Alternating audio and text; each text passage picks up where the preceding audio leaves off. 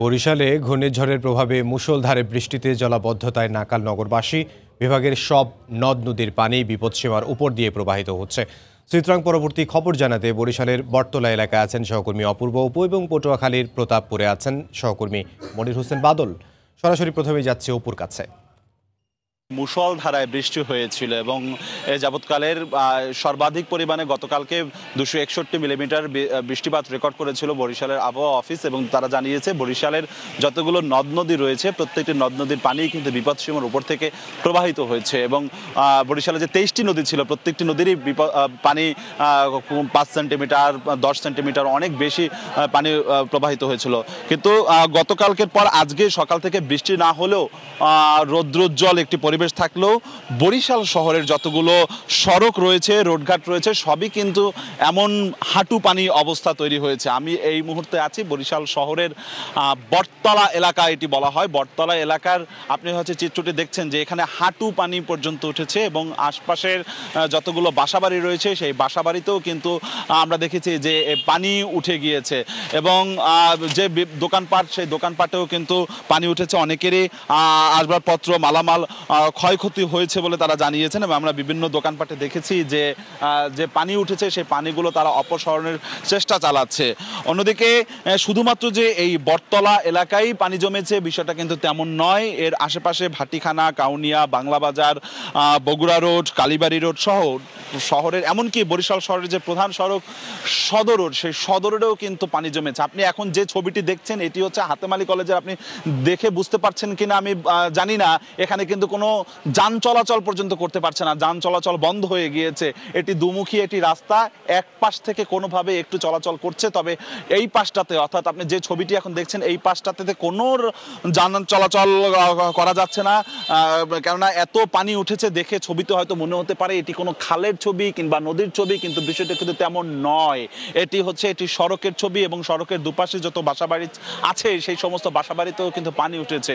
আরেকটি বিষয় আমার সাথে বরিশালের জেলা প্রশাসনের সাথে কথা হয়েছে, তারা জানিয়েছে যে গতকালকে এই ঘূর্ণিঝড়ের প্রভাবে যারা সাইক্লোন শেল্টারগুলোতে অবস্থান নিয়েছিল, তারা কিন্তু আজকে সকাল থেকে স্ব নিজ নিজ গন্তব্যস্থল বা বাসা বাড়িতে কিন্তু তারা চলে গিয়েছে এবং বিভিন্ন ফসলের ব্যাপারে আমরা খোঁজ খবর নেওয়ার চেষ্টা করেছিলাম, কীরকম ক্ষয়ক্ষতি হয়েছিল। তো সেক্ষেত্রে কৃষি কর্মকর্তা জানিয়েছে যে ফসলের আসলে আমন ধান বা ইরি ধানের সেই অর্থে ক্ষয়ক্ষতি হয়নি বরিশালে, তবে সবজির কিন্তু ক্ষয়ক্ষতি হয়েছে, সেটি তারা আসলে নিরূপণের চেষ্টা করছে। এর বাইরে বরিশাল বিভাগে আপনি জানেন যে গতকালকে ঘূর্ণিঝড়ের ঘটনায় তিনজন মানুষের প্রাণ গেছে। তার মধ্যে ভোলার, চরফ্যাশন এবং দৌলদিয়ায় দুজন এবং বরগুনায় একজন গাছ চাপায় মারা গেছে।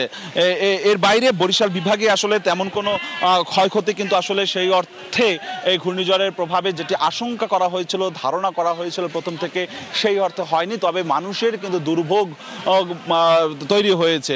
গতকালকে থেকে বিদ্যুৎ বিচ্ছিন্ন ছিল বরিশালের বরিশালের বিদ্যুৎ বিচ্ছিন্ন ছিল বিভিন্ন এলাকারই, সেটি আসলে আস্তে আস্তে কিন্তু বিদ্যুৎ সংযোগ শুরু হয়েছে এবং বিভিন্ন জায়গায় যে মোবাইল ফোনের নেটওয়ার্কও বন্ধ ছিল সেটিও কিন্তু আসলে বন্ধ হয়ে চালু হয়েছে আস্তে আস্তে।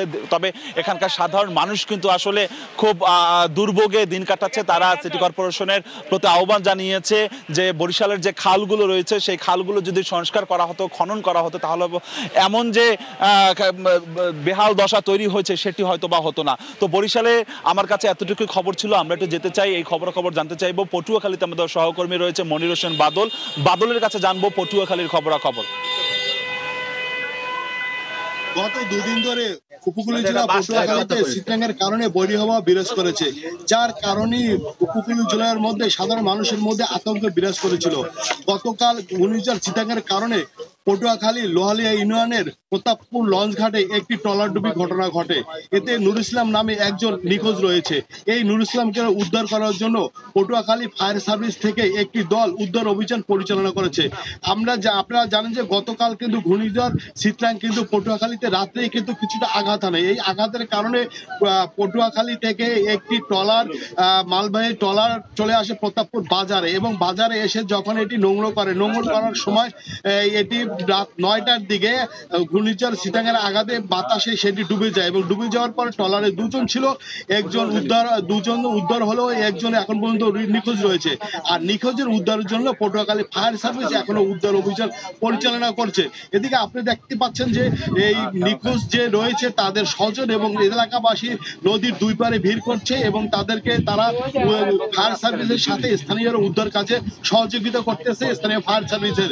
তবে আরও একটা বিষয় আমি বলে রাখি যে এই যে ঘূর্ণিঝড় চিত্রাঙ্গ এই চিত্রাঙ্গে কিন্তু পটুয়াখালীতে কিন্তু মোটামুটি অনেকটাই ক্ষতি হয়েছে বেশিরভাগ ক্ষতি হয়েছে গাছপালার। এই গাছপালা পড়ে কিন্তু অনেক রাস্তাঘাট আটকে গেছে এবং রাস্তাঘাট চলাচল বিঘ্ন ঘটতেছে। এদিকে রাস্তাঘাট যে গাছপালা পড়ে আছে এই গাছপালা উদ্ধারের জন্য স্থানীয় প্রশাসন এবং জনপ্রতিরা রাস্তা গাছ কেটে পাশে নিয়ে যাচ্ছে এবং চলাচলের জন্য রাস্তাঘাট সম্পূর্ণ সম্পূর্ণরূপে কাজ করছে। এদিকে আপনি জানেন যে পটুয়াখালী যে বেরিবাদ রয়েছে পানি উন্নয়ন বোর্ডের এই বেরিবাদও কিন্তু ইতিমধ্যে অনেকটা বিঘ্ন ঘটেছে, তবে বেরিবাদ বিঘ্ন করেছে পর্যন্ত পানি উন্নয়ন তথ্য দিতে পারেনি। তবে এই ছিল পটুয়াখালী প্রত্যাপন লঞ্চঘাট থেকে আমার কাছে নিখোঁজের সর্বশেষ। আমরা সরাসরি ছিলাম পটুয়াখালী এবং এর আগে ছিলাম বরিশালে। আমাদের সহকর্মীরা জানাচ্ছিলেন চিত্রাং পরবর্তী পরিস্থিতির খবর।